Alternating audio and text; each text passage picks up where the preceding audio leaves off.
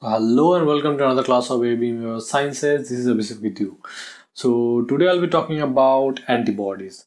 So this is a very important component of immune system which neutralize the pathogens.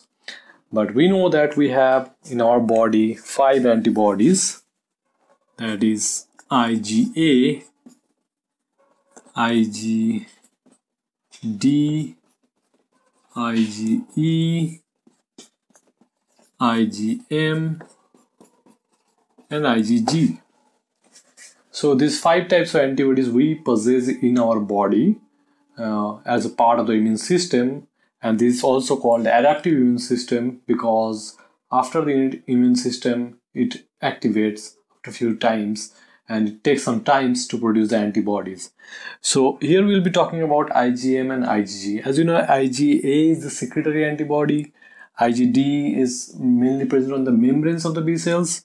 IgE is responsible for allergic response, so I'm not going in detail about those antibodies. Or if you insist, I can go later in my classes.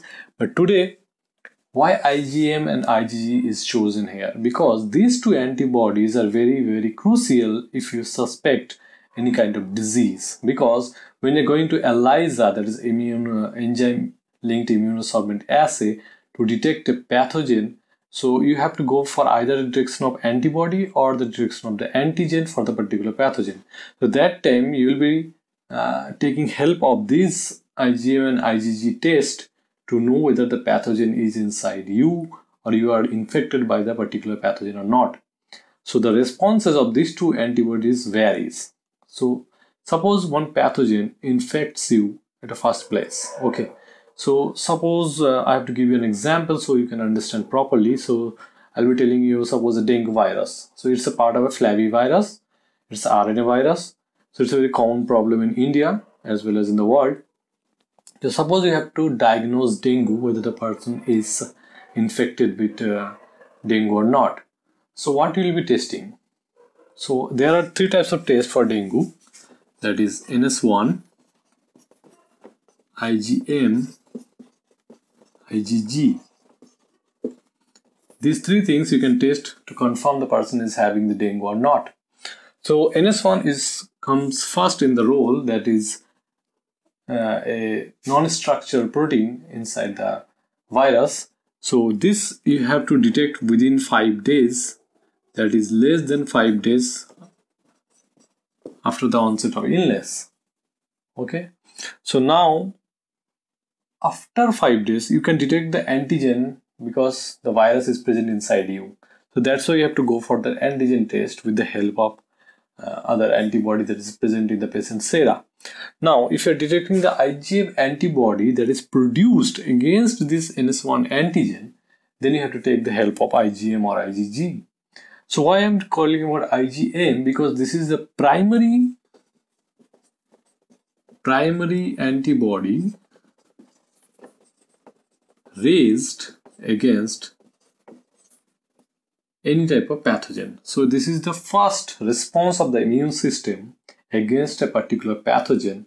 It may be a virus, it may be bacteria. So here I am suspecting about DENV, that is dengue virus. So the IgM will be response first. So you'll be detecting IgM through this ELISA kit, particular from any company, which is a very standard uh, nowadays. So this IgM, which is first response against the particular antigen, if their peak will differ from IgG because so I will draw a picture or a graph so that you can understand it properly. So suppose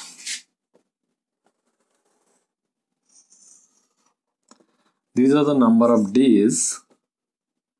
Suppose 5 7 dot dot dot. I am not going in detail that is 90 days and that is suppose 365 days. So number of days. And this is sensitivity okay? So suppose this is 25 percent 50 percent 75 percent and 100 percent. So this is the level of sensitivity against the virus and this is the number of days where the response will be there. So this is the response of dengue virus the viral antigen. Now I'll draw the ns1 which will be decreasing. Okay. Now I'll draw IgM which will be starting the response from here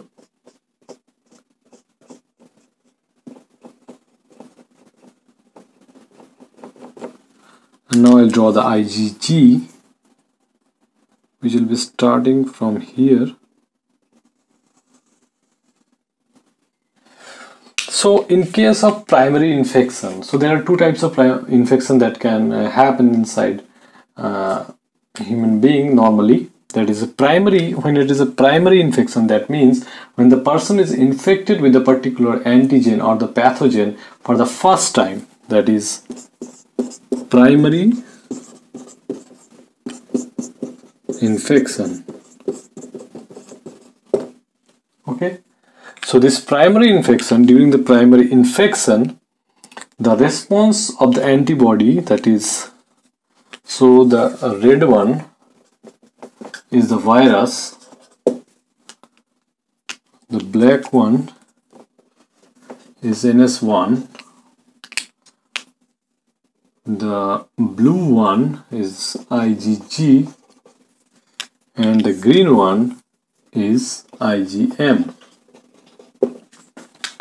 okay so the level you can see here that the red one the virus levels when it is first at the day zero and it is 100% or near the 100% inside the human body or the particular patient's body that time the raising of IgM is slow response and after the five days it reaches the highest peak. Okay? So it reaches the highest peak that time the first as I said the IgM response is very much faster compared to the IgG when it is a primary infection. So after the 5 days it is at peak level and after that it may be detected up to 90 days okay in case of primary infection so after the virus levels are going down that time the IgG antibody will be produced which will be kept in memory for further secondary infection. So that just started when the viral titer is going down and afterwards it started to increase the levels of IgG and at 90 days you can see after 90 days levels when the IgM levels are almost down that time the Ig levels are going high. So whenever if you suspect a patient or you're if you check a patient that IgM levels are low and the uh, detected by the RT-PCR, that time you can suspect a secondary infection or it may be a cross reaction of the nearby infection of any kind of flavivirus.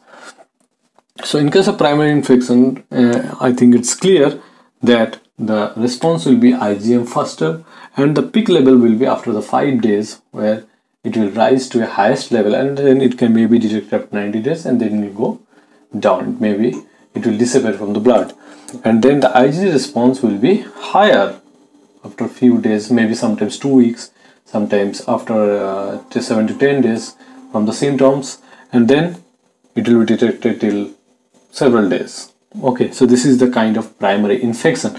Now I'll be going to secondary infection.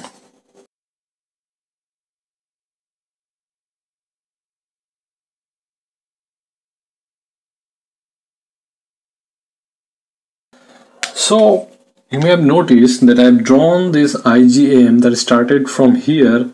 It always lower in titer than the viral infection during the secondary infection. So I should write here this is the secondary infection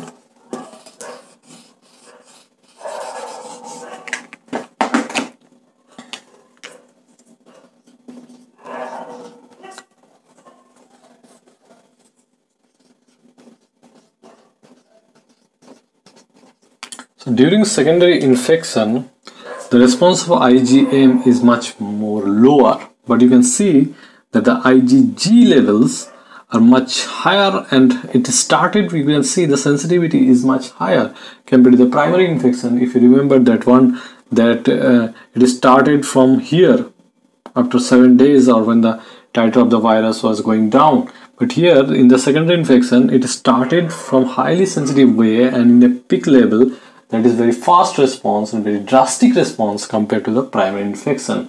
So in that time when you're comparing comparing the igg or igm it may cross react with other viruses of such kind. Suppose here i am discussing about dengue virus so it's a flavivirus.